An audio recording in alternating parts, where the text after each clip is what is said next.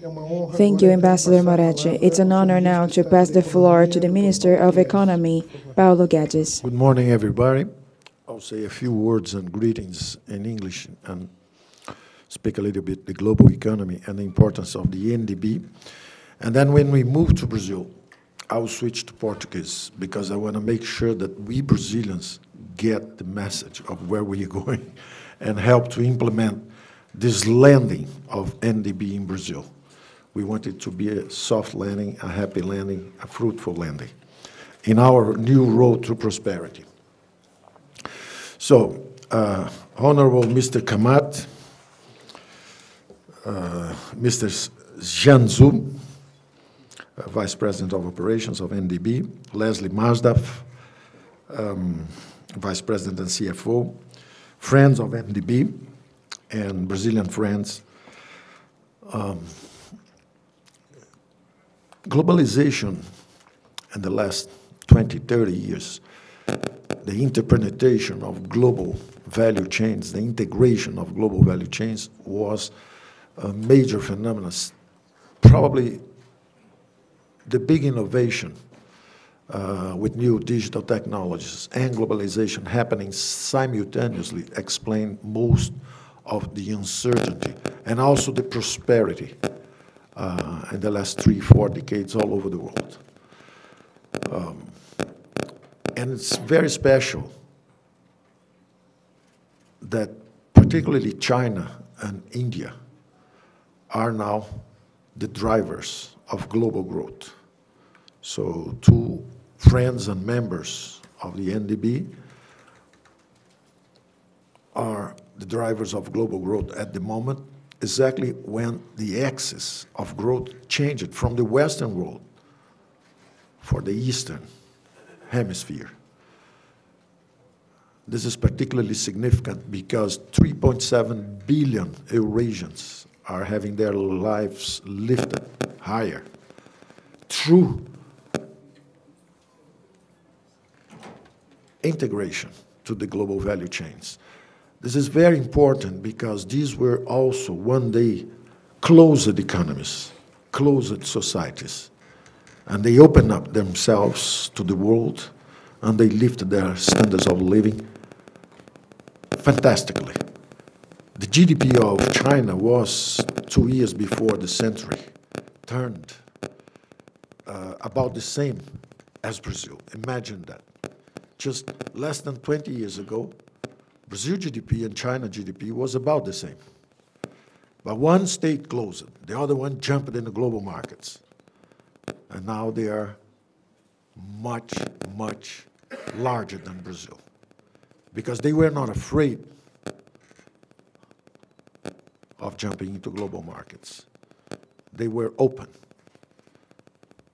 minds looking for prosperity and they built networks all over the world. They transformed Africa in a continent of hope. Africa is growing faster than Latin America. So we must learn something with that. We kept ourselves closed for the last 40 years. Brazil is one of the closest economies in the world. So, we are changing this failed growth model. As a matter of fact, we locked ourselves in a low growth trap. And we now want to get out of it and begin running what we call the road to prosperity one of the most important tools is exactly integration. Bad news that it took us so long to understand that. Good news is all the low-hanging fruits, all the trade creation of the first stages of integration are just ahead of us. At the exact moment when growth worldwide decelerates and most of the trade creation gains have been already realized among other partners, not with Brazil. So exactly because we are delayed, we have a lot of trade creation ahead of us with China, with Russia, with India, with South Africa. While most of the trade creation possibilities have been already realized among the other partners of the global chain. So on the one hand, we are late. On the other hand, we are the ones that have the highest expectations and possibilities to exploit just ahead of us. So zooming now to Brazil, nós não podemos perder And now he will switch to. Portuguese. Essa We can't miss this opportunity. que nós queremos The integration that we pelo want menos três níveis. has at least three levels. O primeiro nível The first é o level nível comercial. is a commercial Nós level. negociávamos com a China 2 bilhões de dólares. We were negotiating $2 billion with China 20 years Hoje ago. nós passamos dos 100 bilhões Today, de dólares. we Mas ex- continuamos exceeded só com 4 $100 billion, bilhões com a Índia. But we are just negotiating $4 nós billion with India, so we are way behind when it comes to the possibilities with India. I was speaking with Mr. Wong, the Minister of Trade in China. Eu passei o dia inteiro ontem com o ministro do Comércio ontem da China. And we were saying that he was saying that there was no ele quer aumentar o fluxo de comércio. the problem is not what's happening with Brazil and what he wants is to increase the trade flow and he said that he, and I said that we are going to try and find balance soon, 50% as increasing the exports by 50% O que nós queremos and maybe tripling the importation. But what we want is to increase our integration. ponto de vista So from a trade point of view, we have a lot to do with China, India, Russia, África do Sul. and South Africa. Um pouco à frente de Rússia. I'll speak about Russia and China later when I start speaking about technology. Eu diria que o maior upside I say that the greatest upside of trade integration now is with India because our trade is very low with them. Our, we, there is a, a lot of room for trade creation, Pouquíssimo espaço para trade diversion. not a lot of room for trade diversion. Realizado praticamente em We basically have nothing implemented when, entrar no segundo when it comes to eu acho que é trade. But now let's move on to the second level, which is the most up to date. acelerar o crescimento and that's the one that is going to drive the growth, the economic growth in Brazil. For 40 years, Brazil, eu disse, ficou isolado. as I mentioned, was isolated from the world. Só completando esse primeiro nível de integração, nível And when talking about this first level integration, the commercial level, I'd like to put on record the gains that we've had this year. parados com o Mercosul, After eight years um without having any major growth in Mercosur, we took an important step in isso foi apenas um primeiro passo, porque making our fizemos o acordo com a treaty stronger. And then we signed an agreement conversando com a China with the European Union. And now we started talks with China de considerarmos free about the possibility of creating a com a China. free trade area with em entrar na China. At the same time that we are talking about entering the OECD. Our policy from the beginning was we are seeking higher higher levels of grounds of integration. higher levels of integration. We have integrated with Mercosur because we want to open up. 20 anos. Argentina and us Eh, have been closed for the last 20 years, Nenhum dos dois particularly the last eight years. Neither country has Então, a nossa integração é grown, both took steps backwards. So our integration is to move upwards. nos interessa. Se pudermos exatamente passar do Mercosul We can move from Mercosur to OECD even better. If we can have a free trade area with other regions in the world, even better. We are always seeking higher grounds. This is our decision. We want to be integrated with the global chains. We've wasted a lot of time. We are in a hurry now. That's why soon agreements that hadn't been discussed in the last eight years or for even 20 years, like as the Doha, like the Doha agreement with the European Union. Now it's time. It's time for us to move forward. We are going to grow 40 years in four years. That's our goal. When it comes to the second level of integration, que deve ser o coração de nossa which should be hoje, porque fala do the, at the heart of our conversation because we are talking about. NDB, BNDES, aceleração do crescimento investment rates, economic nível de integração, acceleration rates. é o nível So when it comes to the second level of integration. I'm talking about investments. maiores fluxos de comércio. And we're not just talking about increasing this flow of trade. We want to also increase financial flows, direct investment, credit. We are trying to accelerate the integration of NDB é uma economies. And NDB is an important piece of the puzzle here. Nós estávamos os dois lados atrasados. Both O sides la- were behind o Brasil era uma carteira NDB baixa no portfólio do because Brazil o Brasil, porque inclusive didn't have a very important participation there, o NDB não and. Brazil many times É a situação would default payment with NDB, which was a problem as well. So Brazil was not empréstimo pro Brasil. investing money um to NDB, and esperando pra ver o NDB was not lending money to Brazil. So Brazilian dinheiro pra botar em government went bankrupt. We didn't have money at all, E também não tinha projeto para oferecer. and we didn't have any projects to offer. E o NDB porque estava ocupado.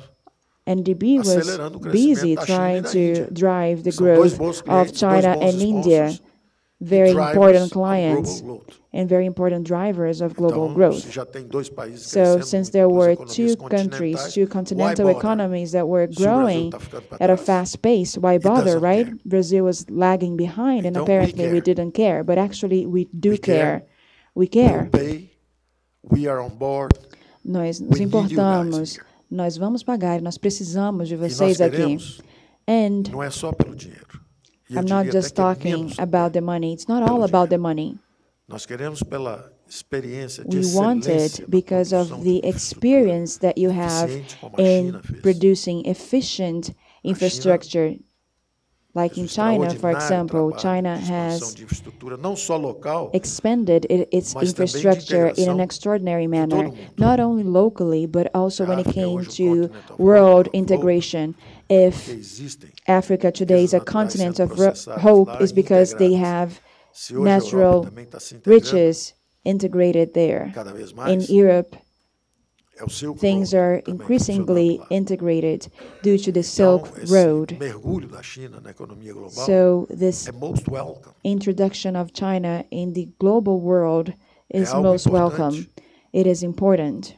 É algo que está mudando não só It's something that is changing not only the expectations a qualidade das vidas na China, and the standards of life in. China, but also passou duas, três worldwide. The country has gone two or three decades with high exatamente porque o synchronized growth rates Sua integração econômica. based on the economic integration that was taking place. nível de integração, And when it comes to this second level of integration that has to do with investments, uma parceria à frente muito importante. we have an important partnership ahead of Primeiro, porque us. nós temos noção do que precisamos. First, because we know exactly what we need. E segundo, porque os senhores têm And muito mais second, experiência de because you have much more experience fazer in doing things. E de como nos integrar And a essas correntes you know how to integrate us to dar só alguns these global supply chains. para a nossa plateia. I'm just going to give you some temos ali o examples just by looking at our audience. There we have our governor, the governor of Rondonia. Estávamos conversando We were talking exatamente a respeito de exactly como about reduzir how we can tempo. reduce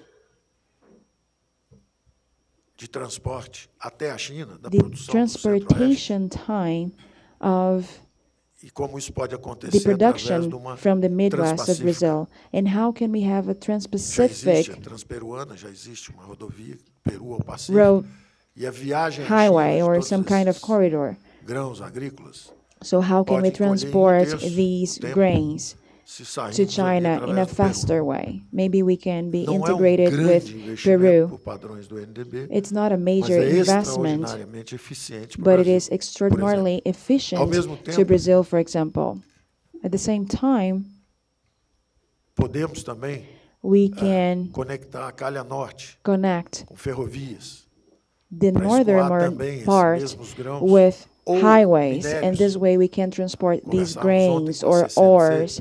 Yesterday uh, we were talking with C, C, C, C, four Cs. with CCCC, Construction Industries.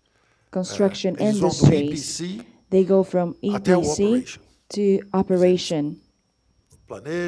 So they plan, they hire, they build, they execute and operate. Ferrovias, Seaports, rodovias, aeroportos. highways, railways, airports. O PPI So é PPI um excellent landing is an excellent landing place para esses operadores internacionais for these international e, operators, ao these major international operators pools de capitais that privados, are financed by coordenados private capital pools toda essa experiência que os chineses têm na where we have projects learning from the experience of the Chinese. no NDB.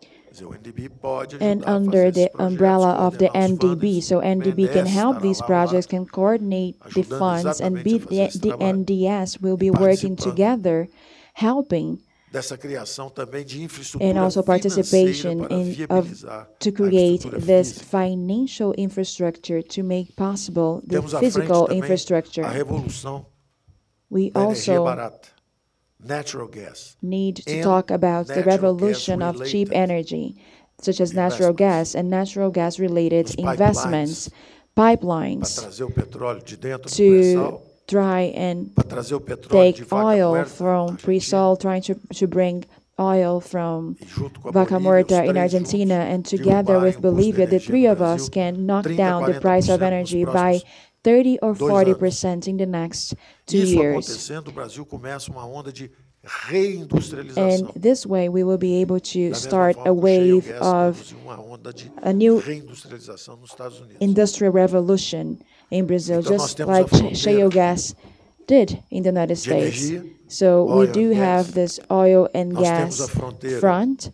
We also have de mineração, the mining front and the infrastructure front. sem falar no existing assets, And que já estão aí, que é o PPI, We also have our todas existing as privatizações, assets, PPI, and sem all the other greenfields que vem daí privatizations, também, and not to mention the nós vamos ter que greenfields that we have as well, and we will have to create new institutional frameworks Vimos to deal with that. We've seen that the oil for swap stock is not a very is not the best idea. se ausentaram no lance The major operators in the world Isso é sinal. were not part of our auction. So this is a que mudar esse sign we are going to change. We need to change this institutional framework for the que nos interessa TORs. Likewise, muito num ato de autorização ou concessão e depois não tenham recursos for para us, it doesn't matter if they pay a queremos, que é a substantial amount at the beginning of the um concession bilhão, and then afterwards not having the money to invest. um. Why would I charge two, three million depois three não há dinheiro para million investir reais for the right of operating a do porto na seaport and then there is no money left to invest in the objetivo não tem que operations of the seaports? That's not our objective. Our objective should not be to maximize the collection of funds and minimize future investments. What we need to do fazer com que a is to have competition happening at another level. Who is going to add more value? Who is going to quem vai fechar o invest more and not who is going to help us solve our tax problems this year. We need to look at the long term, and there's a lot to learn from those who already have planejar 10, experience 15, in planning for the next O 15, Brasil se 30 perdeu years. Brazil necessidade de sobreviver ao furor is just now trying to survive amidst hyperinflation. agiu planejando a longo prazo We are not nem for the long term in the government, and we have not created space for private investments. Nós já sabemos por onde vamos. So we already know Nós vamos para now the road to take. We need to have more efficient regulatory Nós vamos para frameworks. We also need to have anos de crowding crowding in after 40 years of crowding out. We need, we must welcome in Brazil foreign investments.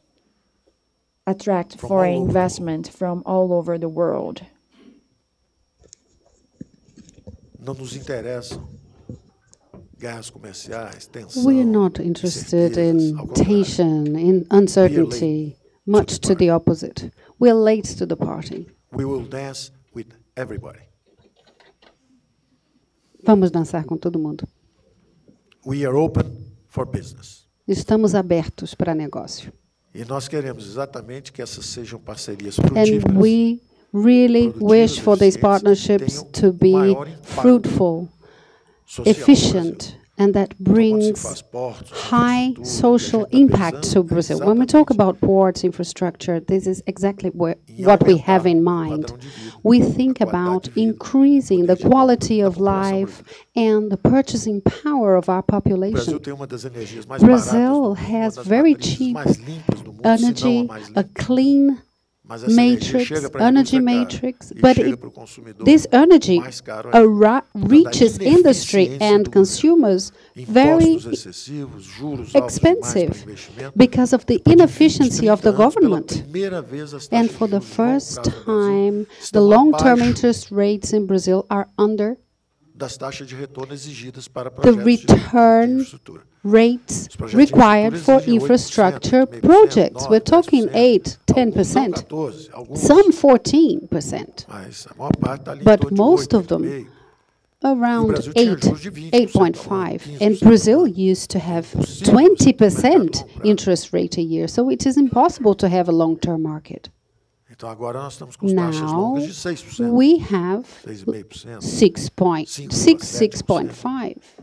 6.6.5. 5.7% interest rate. So this will bring about waves of private investment at the same time when we have the arriving of externo e reinforcement of external investment and public investment through multilateral financing institutions. a participação do Therefore, we do want the participation of NDB here and experiência dos sponsors, especially the experience of sponsors, não só como financiamento, not mas o mais only um with financing, but most and foremost, the experience with projects and the ability to que fizeram a attract operators China, fizeram a infraestrutura, estão fazendo a large infraestrutura na África. companies that are working with structure in China, in. Africa, our doors are open para que o NDB traga for the NDB to bring this intelligence in the design of projects, a coordenação no pool the coordination of this pool of financing,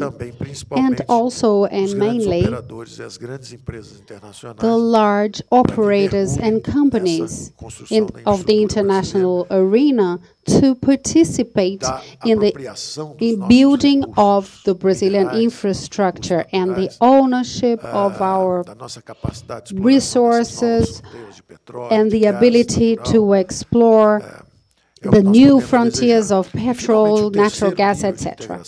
And finally, the third level of integration, Já que estamos em meio a uma since we are amidst this wave de novas tecnologias, of new technologies, Brazil has lost some stages, some phases of the industrial revolutions. Mas, curiosamente, o Brasil But, é uma das três ou Curiously enough, Brazil is one of the three or four largest digital markets in the world. Our president was elected in a disruption of the conventional O presidente foi media by new technologies. We spent less than $1 million Isso só foi possível for his campaign. porque os brasileiros This was only possible because Brazilians, even são digitalizados, the carregam simpler segments of the population, they have this. They exchange information and they like it. do mundo digital. They like the digital world. Então, nós esperamos que haja uma revolução Therefore, educacional we expect an educational digitais. Revolution in Brazil based on digital technologies, and we think we're going to have very, Rússia, por exemplo, we're going to have very fruitful mercado de 60 partnerships. For example, Russia, a market of milhões. 150 Qualquer million. We have here funcione 250, digital para 150 200 vai million funcionar. Ou mesmo países menores. people, and even smaller countries. uma parceria tecnológica We also have um, technological partnership with Israel. They are very much advanced regarding digitais. technological innovation in the digital scenario, but they have no scale. huge And we have huge digital market. Não tem essas. We don't have the innovation. Então nós podemos trabalhar juntos So we can work together for reciprocal gain. Então acho que novas tecnologias com Rússia, com So Índia, com China, new China, India. A Índia como um grande mercado India consumidor, as a large consumer market.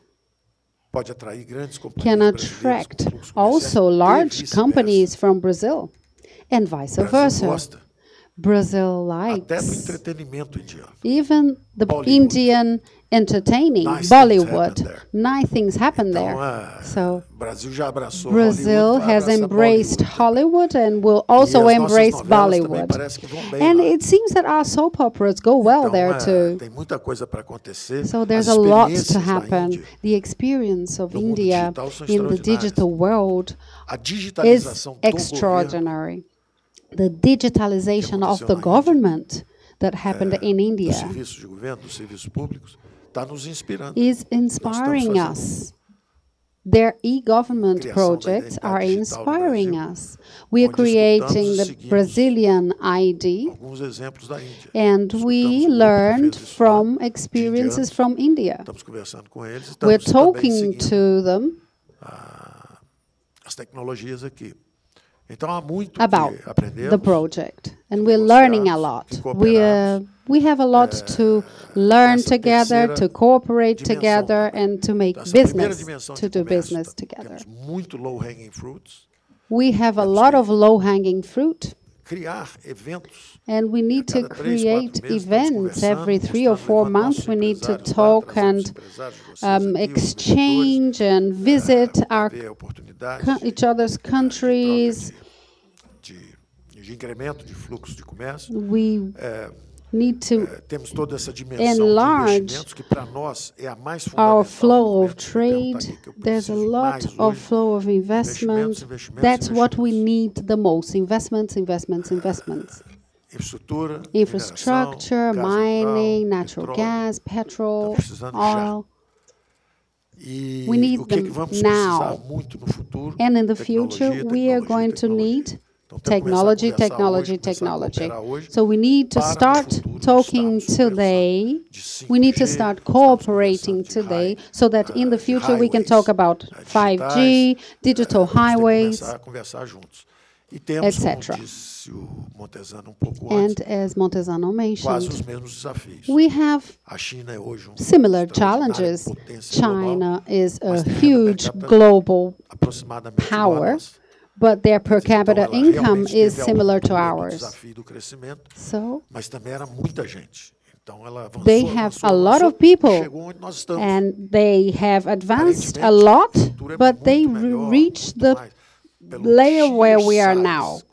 But the future will be great because the sheer size of China is dazzling. Em renda per But at the não para de moment, they are the same size as us in terms of per capita income. Let's get a right But they are growing. They continue growing. So let's hold see if we hands. Let's go together. Let's see if we can grow faster. Getting closer to the guys who know how to grow faster. Humbly and friendly. Ok? Obrigado.